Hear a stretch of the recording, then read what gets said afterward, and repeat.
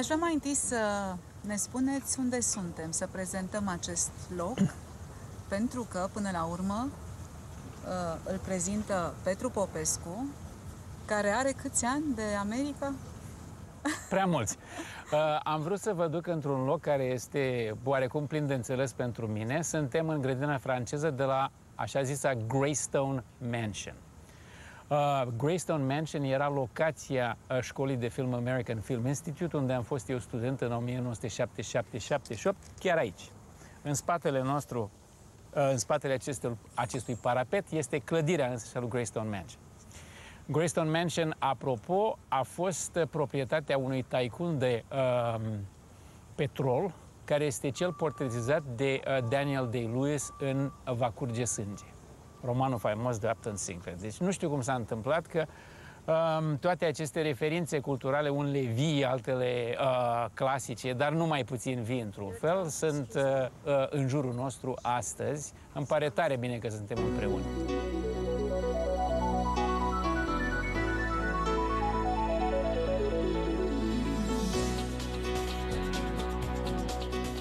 Popularitatea de care se bucură în America scriitorul Petru Popescu nu a apărut peste noapte. A fost unul dintre cei mai înzestrați tineri ai generației 60, reușind să publice două romane de referință în istoria recentă a literaturii române și în memoria cititorilor. Prins și Dulce ca mierea e glonțul patriei. Este perioada în care i-a atras atenția Zoiei Ceaușescu, fica dictatorului, amănunt biografic pe care îl dezvoltă în romanul de succes Supleantul, publicat în 2009.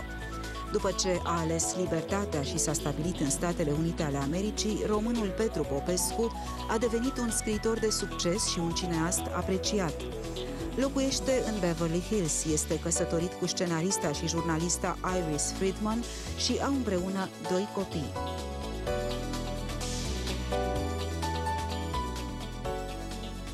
Suntem acum într-o bucată de sălbăticie care se numește Franklin Canyon, unde de altfel eu am fost custod de la uh, comisia uh, silvică care încearcă să păstreze această um, această, uh, cum să spun, fantezie adevărată a Americii um, vechea Californiei sălbatice și nee și pure și lipsite de uh, atea șosele și așa mai departe. Și asta există în mijlocul orașului, este la 5 minute de Beverly Hills și eu vin aici și mă uh, încerc să-mi găsesc inspirația pentru lucru și e un loc extrem de frumos, este public, toată lumea vine, toată lumea se așează, toată lumea stă de vorbă, uh, iar noaptea, pentru că mi se întâmplă des să umblu pe aici noaptea, mai ales pe lună plină, ies coiotele, ies the mountain lions, adică pumele cu gari și așa mai departe, care de altfel sunt foarte blânzi pentru că sunt foarte socializați, e multă lume pe aici și este nemaipomenit, este ca începutul pământului.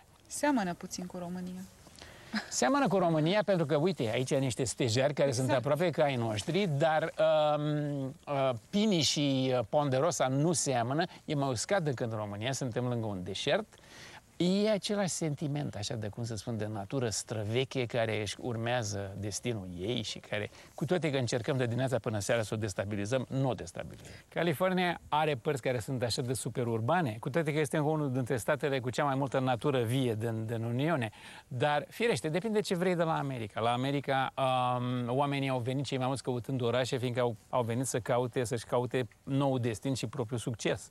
American Dream. American Dream nu mai este, din păcate, în ferme, în ranchuri, în... el este în birouri, în, um, în burse, în societăți pe acțiuni și așa mai departe. Ce a căutat Petru Popescu în America? Am fost sfătuit de două persoane extrem de importante în viața mea să fiu atent ce fac cu viitorul meu dacă cumva ajung în America ca oaspete, pentru că situația culturală în România avea să năsprească nemaipomenit, ceea ce s-a și întâmplat și literatura mea ștrengărească și sfidătoare n-ar fi putut fi publicată. Deci asta una. N-aș putut să scriu liber, cel puțin atât de liber cât am reușit până în anul 74. În al doilea rând, vreau să scriu niște cărți care, din păcate, aș fi iubit să le scriu întâi în românește, dar dacă aș vrut să scriu, de pildă, Fata din Nazaret în românește, n-aș fi avut nici ocazia, nici permisiunea Fata din Nazaret a necesitat niște călătorii de um, documentare la, uh, la Ierusalim, la Roma, bibliotecile Vaticanului și așa mai departe și n-aș fi putut să le fac. Cele mai multe din cărțile mele care s-au scris în limba engleză depind de un fel de, cum să spun, de spirit rătăcitor care m-a dus în Amazonia, m-a dus în Africa, m-a dus la Ierusalim și la Vatican. N-aș fi putut să-mi permit aceste lucruri. Și atunci, între... Eh, sigur că toată lumea care uh, fuge dintr-o țară comunistă într-o țară occidentală beneficia de libertățile imediate și normale. Dar pentru mine exista o supralibertate care era aceea de a cunoaște lumea ca să pot să fac din ea cărți sau să fac din ea cărți și filme. Uh, poate că e un punct de vedere care pare arogant, ce să vă spun, pentru, uh, pentru generația mea, în care au foarte mulți oameni foarte capabili care au fugit, să ne credem că eram buricul pământului și sarea pământului, era necesar ca să ne menținem uh, așa, uh, sănătatea mentală. Când am venit în America, am băgat de seama că nu eram pregătiți pentru ea, eu cel puțin nu eram pregătit, chiar dacă știam bine englezește, și că trebuia luat întâi la început de la zero cu, o, cu foarte mare energie. Energia am avut-o, uh, condițiile au fost uh, oarecum propice, um, ceea ce nu s-a șters niciodată. Ea a fost dorința de a fi uh, capabil să fiu și aici și înapoi în România, să scriu și aici și înapoi în România, să fiu mental uh, sufletește, um, din punctul de vedere al memoriei și nostalgiei, să nu-mi pierd generația, care de altfel foarte mulți dintre ei sunt acum aici. Liceul Spiru Haret își, își discută din America și Canada prin e-mail cum se vor întoarce în România pe 10 decembrie sau pe 1 decembrie ca să se reîntâlnească. Apropo, pentru cititorii mei care vor să fie în contact cu mine, vă rog mult, scrieți-mi Petru Popescu uh, arond hotmail.com sau pe Twitter, uh, arond Petru Popescu. twitter.com slash Petru Popescu. În consecință, nu numai că contactul cu România nu l-am pierdut niciodată, de altfel, nu mă așteptam să-l pierd.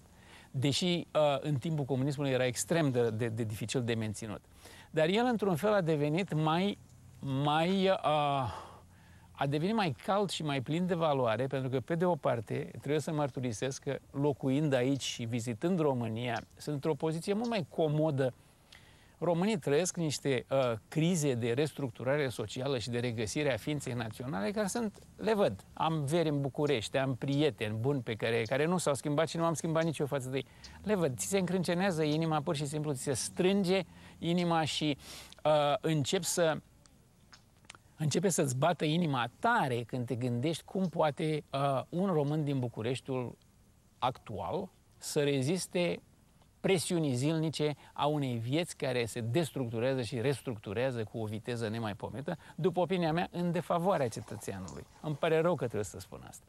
Așa ceva aveam și noi când eram sub comunist, dar pentru că eram toți prieteni, aveam o solidaritate nemaipomenită între noi și deci viața noastră secretă era extrem de bogată și de vie. Pe de altă parte, aveam visul Occidentului care nu fusese, cum să spun, nu fusese demascat. Deziluziile pe care le-am avut cu Occidentul, unii dintre noi și din ce puncte de vedere, au venit mai târziu. Dar în clipa de față România este în NATO, lumea este oarecum aceeași, America s-a ghettoizat în păcate foarte tare. Multe din națiile mari, uh, puternice din Occident s-au ghettoizat și se vor ghettoiza poate mai mult. Atunci este greu ca tânăr român, am vorbit cu tineri români în București de, de multe ori, de sute de ori, uh, începând din anul 1992 și ei nu au posibilitatea să spună, ei da, dar undeva o lume ideală în care meritul singur și efortul uh, de muncă singur și uh, tenacitatea așa mai departe, ele vor fi răsplătite precis. După o absență de 18 ani din țară, revine în 1991. Scrie apoi Întoarcerea, o carte despre destinul lui individual. În acei ani prezintă situația orfelinatelor din țară în filmul Copiii nimănui. De la Revoluție încoace nu se mai poate spune, stați puțin, să ascundem partea tristă a României și să... Dar uh, filmul ăsta aparține încă, uh, recepționarea lui România aparține acelei mentalități. În primul rând pentru că copiii orfani în fond n-au fost, nu populația a fost de vină, a fost de devină uh, Ceaușescu întâi și întâi, guvernul care l-a urmat, partea medico-sanitară care a trebuit să se supună și așa mai departe. Și are aerul unui secret urât, trist și așa mai departe. Nu este adevărat. Nici măcar în filmul copiii nimănui. După opinia mea, românii nu ies prost. Eu nu... Uh, sarcina mea de martor al istoriei nu este să condamn. Sarcina mea de martor al istoriei este să explic în măsura în care cred că înțeleg anumite lucruri și să simpatizez întotdeauna. Această simpatie există în România. Cred că nu există multă experiență în România. Hai să citim o carte despre România de câți englezi au scris despre România? Eu știu de unul singur, Olivia Manning. Câți nemți au făcut un film despre România? Nu știu niciunul. Câți americani au făcut cine știe orice despre România? Deci românul este, în fond, așa de puțin obișnuit cu experiența de a fi expus, dar nu condamnat. În timp ce românul, el, la noi, între noi, în familie, că doar suntem în familie, românii se condamnă mult mai mult decât merită, aproape pentru orice. Dacă, dacă citești blogurile românești, ă, știind românește în America, rămâi cu ideea că România are o situație catastrofală. Petru Bovescu în America în 2010 a semnat să scrie un scenariu de film despre România, la care voi fi și uh, executive producer. Uh, pentru o companie americană, deci este ceva care mă preocupă și mie și timpul și pe de altă parte este un lucru de responsabilitate. Vreau să vreau ca pentru un film care să se face de către o companie americană, în primul rând să spun despre România multe lucruri adevărate, dar să nu comunic, pentru că nu e asta convingerea mea, că România este nici sfârșită, nici, um, nici chiar așa dezavantajată ca să nu se poate ridica din nou, ceea ce s-a și văzut că se ridică. Vreau însă să servesc altceva prin acel film. Fac câteva proiecte de film în care este implicată România. Um, vreau să servesc, în primul rând, curiozitatea reală și nu disprețuitoare a Americii față de România, de care românii nu sunt informați. România este o țară care e un mister viu, ongoing, pentru cei de aici din Occident. Dacă în uh, Franța România este mai familiară, în America este mai familiară mult decât în anii 90 și în parte eu sunt cel care a făcut-o mai familiară, dar nu este nici pe departe cunoscută cum ar putea să fie și părțile din România care sunt unice, uimitoare, pline de un haz foarte ciudat pentru că este într-un fel un haz trist, este hazul istoriei. Toate aceste lucruri, ele există, eu pot să scriu despre ele, dar mai cu seama America poate și America va descoperi mai multe din România că o ajută românii sau nu. Americanii sunt niște nații curioase. Dacă americanii s-au informat despre Vietnam sau despre Irak, eu cred că România este țară cel puțin la fel de atrăgătoare. Poporul român, nici după oribila, uh, oribila, cum să spun, spălare de creier de 25 de ani de supracesul, nu numai că nu era mort, lucrul cel mai interesant despre poporul român este că are o extraordinară capacitate nu de a-și reveni la viață, fiindcă de fapt n-a murit niciodată, dar după aceste ciudate come, Uh, sigur că ăsta e un lucru pe care românii tineri poate că nu-l mai înțeleg, dar eu țin minte cum părinții mei și bunicii mei au asistat la reieșirea României ca o pasăre Fenix din primul război mondial. În 918, Nicolae Iorga a scris un articol faimos pe atunci, care se numea Ne pierde neamul sau ni se stinge neamul, nu mai țiu bine minte. Era articolul care, după ofensiva lui Mackensen, nu știu ce, reducerea României la un sfert din teritoriu și mai departe, să credea că este sfârșitul României. Un an și jumătate mai târziu, România era de trei ori mai mare decât fusese ca teritoriu și era singura țară aliată care ocupase o, o capitală a axei, Budapesta. Deci, Ehm, pentru că dacă România ar fi mai puțin dramatici, mai puțin speriați psihologic că se sting, pentru că de stins nu s-au stins niciodată și au fost procese destul de impresionante ca uh, alții au încercat să-i stingă. Uh, deci asta s-a mai întâmplat.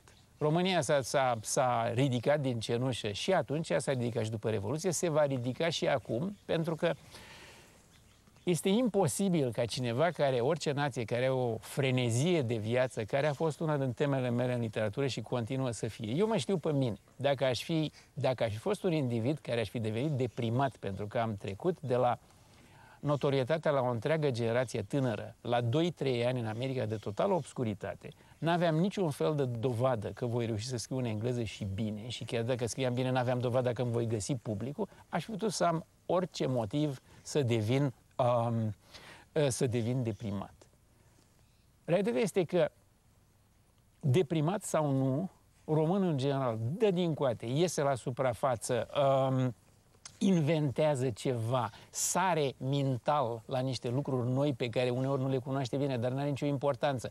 Eu găsesc că, din punctul ăsta de vedere, românii sunt niște echilibriști ai supraviețuirii care trebuie cunoscuți ca atare în, în, în, um, în cultură și în lume, dar pot să vă spun ceva foarte sincer. Eu, din experiența mea, nici după filmul um, Copiii nimănui, nici după ce am scris și publicat cartea Întoarcerea, unde erau niște note foarte critice despre anumite părți ale istoriei românești, nici despre, um, nici acum, să zicem, după, uh, cum să spun, crizele mari ale uh, administrației Băsescu. Eu nu întâlnesc niciodată cineva care spune, dumneata ești român, nu, dumneata nu cumva faci parte dintr-o nație ciudată, avariată, ce se întâmplă acolo?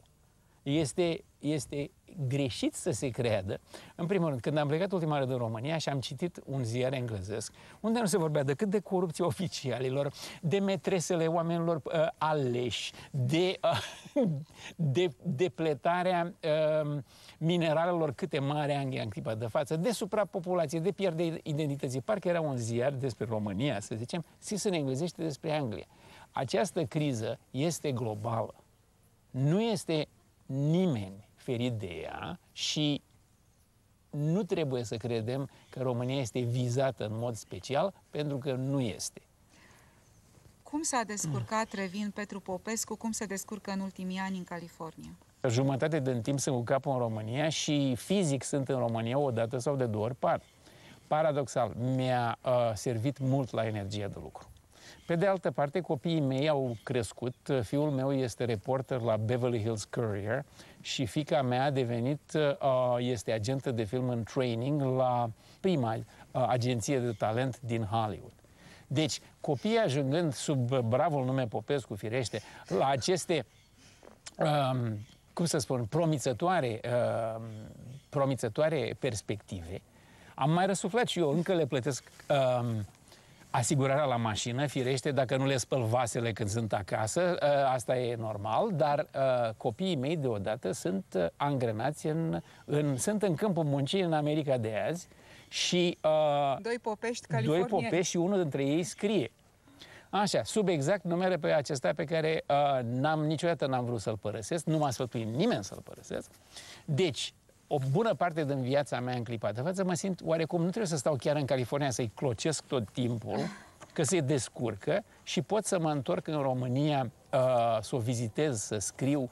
Iar tinerii din România de azi, poate că nu-i cunosc suficient, dar simt că am ascultat cu ei paraziții împreună și am făcut tot felul de lucruri interesante cu ei ca experiență. Simt că nu sunt închiși sau, um, sau um, nu suntem așa de depărtați ca sensibilitate. Tinerii din România mă fascinează.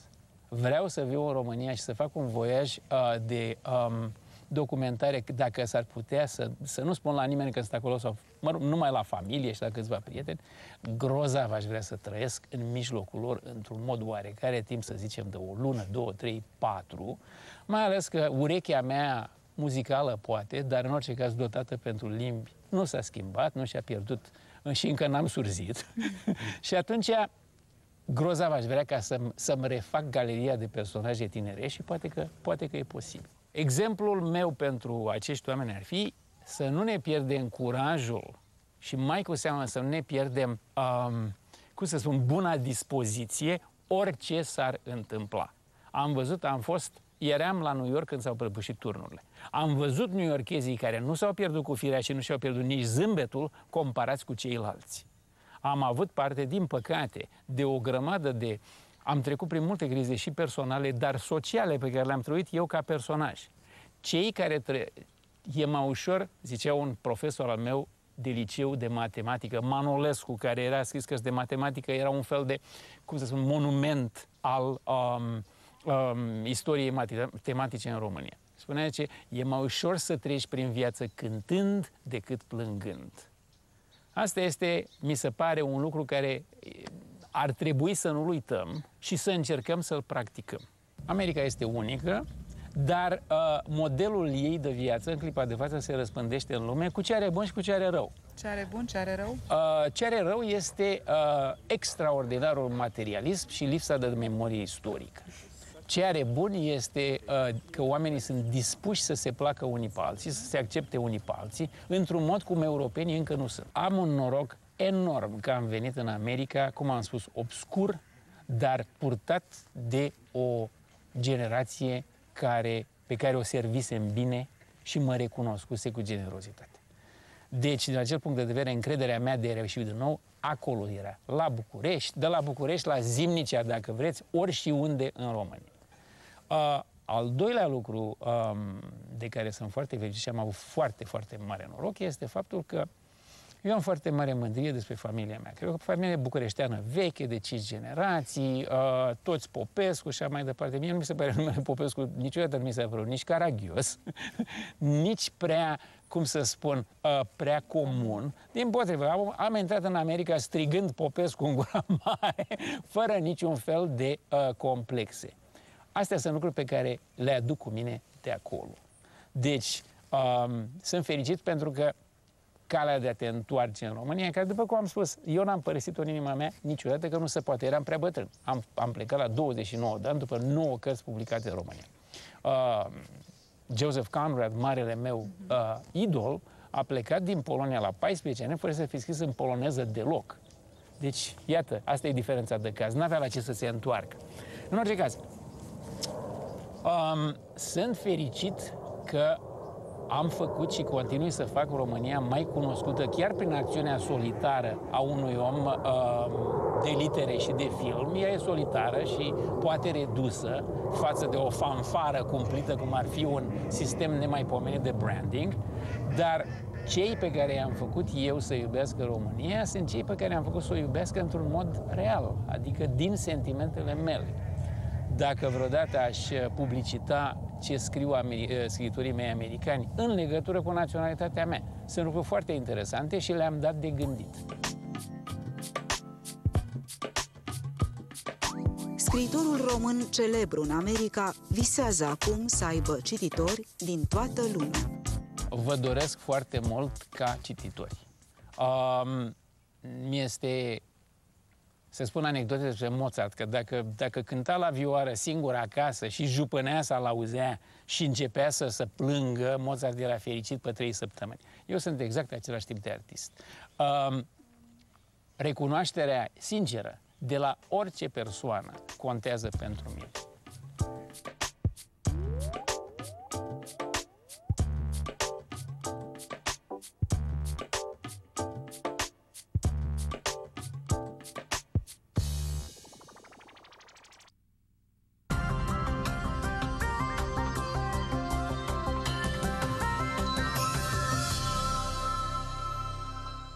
Ce să ai numai două când poți să ai trei?